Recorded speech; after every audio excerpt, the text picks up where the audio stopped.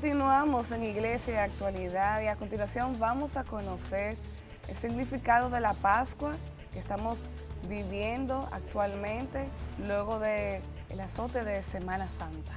Así es, Milian. Este, nosotros celebramos dos Pascuas. Pascua de la Natividad del Señor, ¿verdad? Que es la Navidad, Nochebuena, como nosotros le llamamos. Y tenemos la Pascua de la Resurrección del Señor, que es después de Cuaresma, que es con esto culmina la Semana Santa. Este, es importante recordar que este término que viene en memoria del paso que da el pueblo hebreo hacia la tierra prometida. Recuerda que el pueblo de Israel estuvo esclavizado unos 400 años en Egipto y por un clamor a su Dios, Dios viene a su encuentro y le da a un intercesor que es Moisés y el sacerdote Aarón, y entonces lo invita a caminar hacia la tierra prometida. Y caminar por el desierto durante 40 años, llegan a la tierra... Días. No, 40 años. Fue que duró el pueblo en el desierto. Ah. Y en y la Pascua, celebrar la Pascua, no es otra cosa que hacer una fiesta litúrgica, una fiesta religiosa, para recordar este acontecimiento de la salida del pueblo. Entonces, la Eucaristía que nosotros celebramos tiene ese sentido precisamente de recordar aquel acontecimiento y actualizarlo dando gracias. ¿Cuándo termina la Pascua? Esta Pascua de Resurrección son 50 días. Nosotros le llamamos la cincuentena pascual, que comienza con el Domingo de Resurrección y culmina con la fiesta de Pentecostés. Pero eso es Pentecostés porque viene de 5 o pentagrama, que es 5, ¿verdad? Este, es 5, 50 días.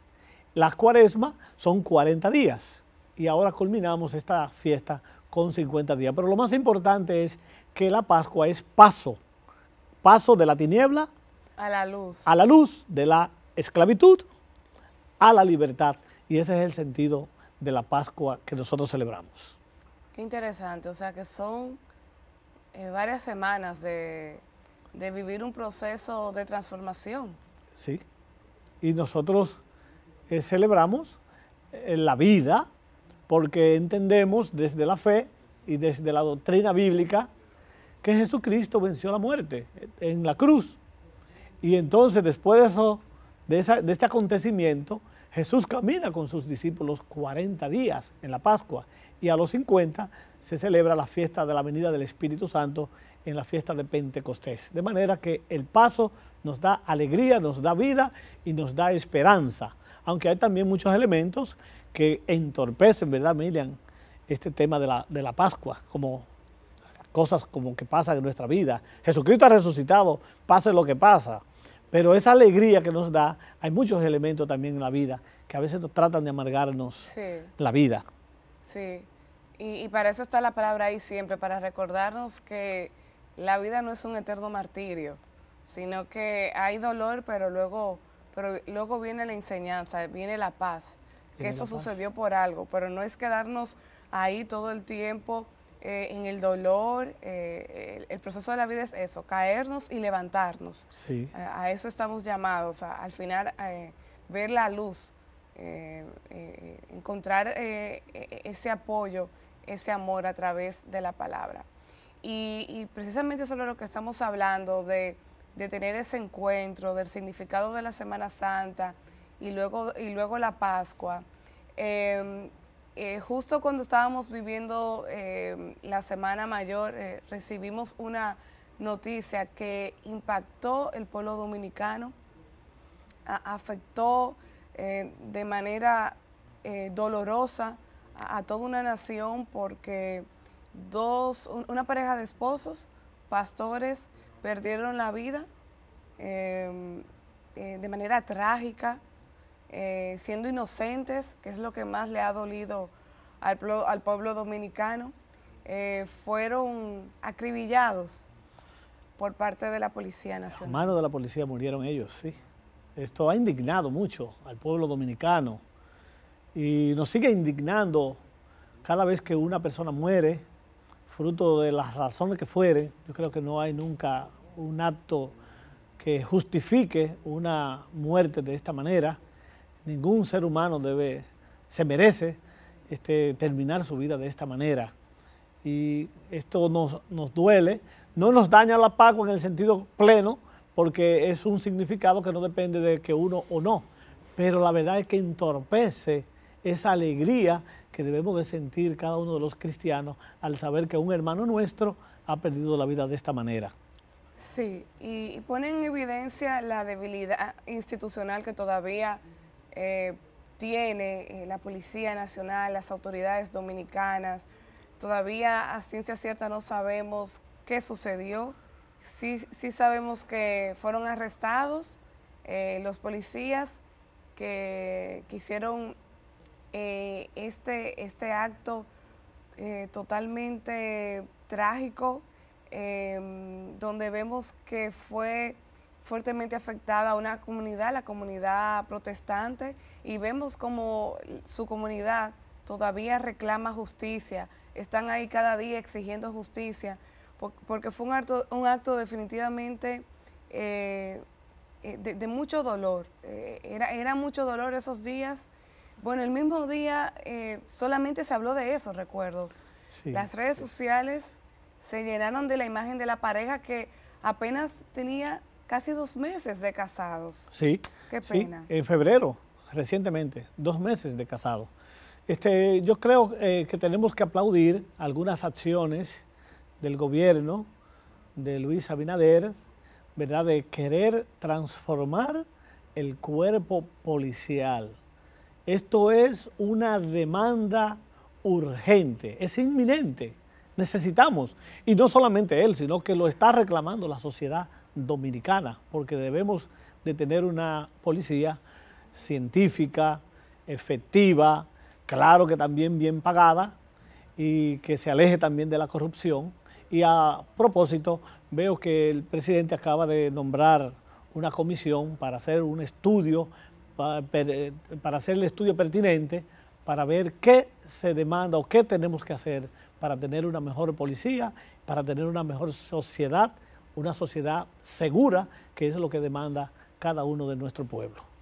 Es así, ojalá que podamos ver esos cambios eh, en estos cuatro años y, que el gobierno que llegue ahí también continúe ese trabajo porque eh, de lo contrario vamos a, seguir perdiendo gente inocente y eso es muy lamentable, eso es muy lamentable. Ojalá que ningún, ni, culpable ni inocente muera de esa manera, por el respeto a la vida.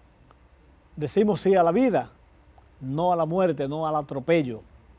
De ningún ciudadano tiene que hacer esta, estas cosas que de verdad repudian y toca la sensibilidad de nuestro pueblo dominicano, de, de, nuestra gente sencilla y de todo tipo de... El mismo presidente también se pronunció al respeto y también queremos que se siga defendiendo la vida y tenemos que nosotros también alejarnos también de las cosas que nos puedan perjudicar.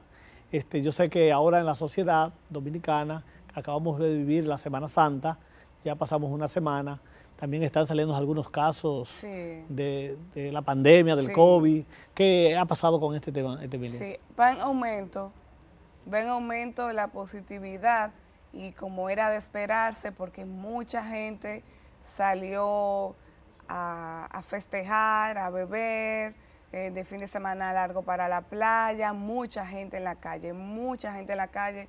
Eh, pudimos ver las imágenes de, que las terrenas estaban como que no parecía que había COVID. Estaba completamente llena, sin distanciamiento social, sin mascarilla y evidentemente eh, se veía venir. Este rebrote, que a medida que vayan pasando las semanas, pues vamos a tener mejor los datos del incremento exacto de, positividad. La verdad que se veía venir. De hecho, ya el presidente, el Estado, ha ido abriendo paulatinamente nuestro pueblo dominicano, ya los toques de queda ya son más tarde, pero a veces se nos olvida fácil, creemos que estamos abiertos o que creemos que, ya, no hay pandemia. Que ya no hay pandemia. Es verdad que ya están las vacunas y nos estamos vacunando, pero señores, este COVID sigue azotando y sigue eh, llevando muerte a los hogares dominicanos. Y, algo importante es que aunque tenga ya la dosis de la vacuna, en, el caso ya de, gente que ya tiene las dos vacunas, esto no significa que ya no que ya, que ya usted está libre de COVID.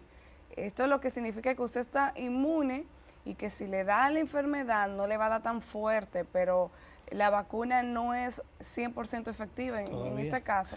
Que más que nada es un tratamiento, más que un tratamiento, más que una vacuna, es un tratamiento. Sí, es una forma también de ir inmunizando a la población, porque tenemos que llegar hasta ahí.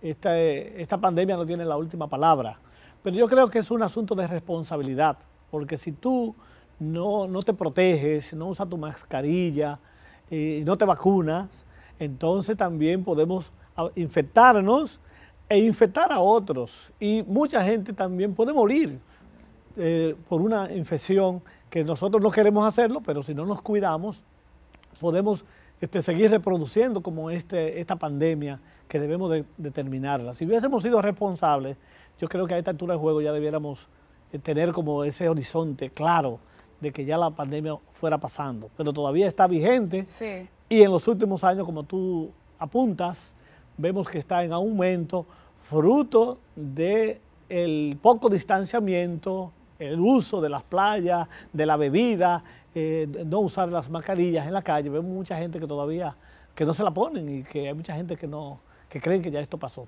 Es una irresponsabilidad nuestra de nosotros no actuar como tales, porque debemos de cuidarnos. Es así. Eh, yo, veo que todavía se está irrespetando mucho el tema del distanciamiento. Todavía la gente eh, sí lleva la mascarilla, pero como que bueno, ya si tengo la mascarilla, podemos acercarnos. Si hay, si hay aglomeraciones, aunque tengan la mascarilla, hay riesgos. O sea, hay que evitar las aglomeraciones. Sí. Aunque tengamos la mascarilla. Sí, y aunque estemos vacunados, dicho sea de paso, eh, en esta semana me, puse ya mi segunda dosis. Ah, qué bien. Este, tuve la oportunidad de hacerlo y sigo invitando a, Faltamos las personas. Eugenio y yo. Falta Eugenio. seguimos eh, motivándoles a todos ustedes para que cuando les llegue el turno, pues que lo hagan. Hay mucha gente todavía pensando en que si me van a poner un chip, que si me van a controlar, que tengo dudas, que se murió fulano de tal.